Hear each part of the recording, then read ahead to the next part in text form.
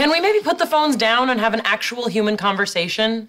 We can, but thanks to Steve Jobs, we don't have to. I think it's sexier when things are left to the imagination. He's wrong. I don't know about you, but I'm very uncomfortable with all this. Why? I've never seen this show before, and now I'm starting with episode 246. It's unnatural. Just think of the first 245 as the prequel.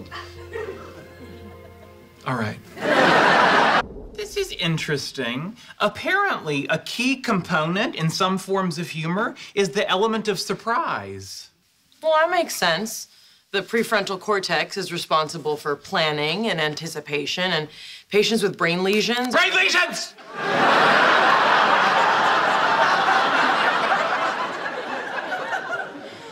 Sheldon, you scared me. That wasn't funny.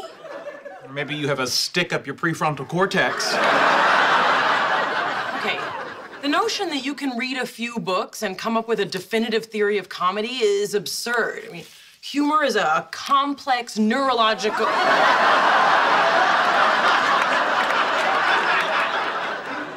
Okay, that's pretty good. Kumquat? I guess. Ointment?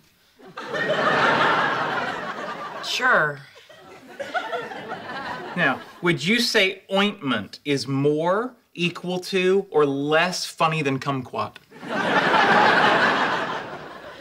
I don't think I want to go out with you anymore.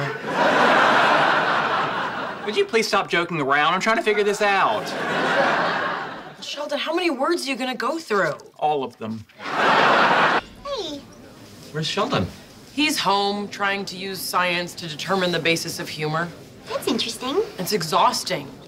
Do you have any idea how hard it is to laugh at a knock knock joke that starts with knock knock knock Amy, knock knock knock Amy, knock knock knock Amy? I wanted to stop. Sometimes the easiest thing to do is just fake a laugh. He's nice. Yeah, he's nice because he likes you. What? No, he doesn't. Uh, he brought you a pretty rock. So he does that every day. Oh.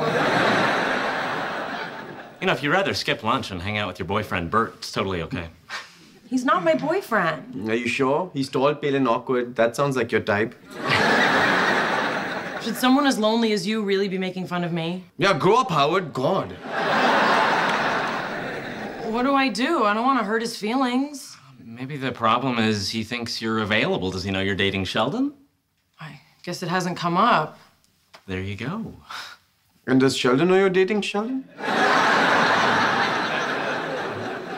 I'm sorry, who are you dating? Yeah, knock it off, Howard. Lots of you, but I do have a boyfriend. That's what you all say. You just don't want to go out with me because I have an off putting personality. No, that's not true. My boyfriend has an off putting personality too, like way worse than you.